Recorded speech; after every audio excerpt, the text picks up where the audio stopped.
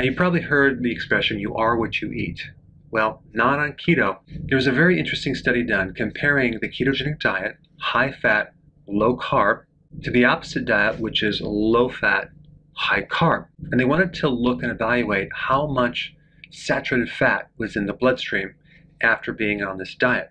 And of course, it's obvious that if you eat all this dietary fat, it's going to load up your arteries and probably spill off into your reserve. But that's actually not what happened. The group that had the lowest amount of fat and the highest carb had the highest amount of saturated fat floating through their bloodstream. So, for those of you that are scared to do the ketogenic diet, thinking that it's going to fill up your arteries with fat, that's not what happens. Despite having the low carb, high fat group at three times as much dietary fat, it was the low fat, high carb group that should be most concerned.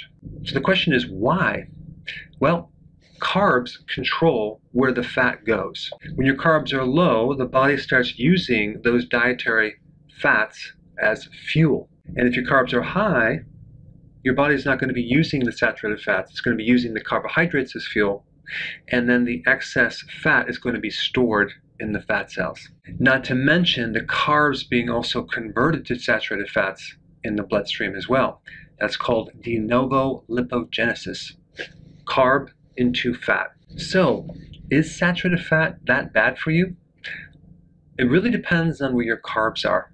If your carbs are too high, yes, saturated fats are unhealthy. But if you're on the ketogenic diet with low carb, the dietary fat goes to the front of the line as your fuel. Hey, before you go, if you're benefiting from any of my content, I would love to hear about your success story.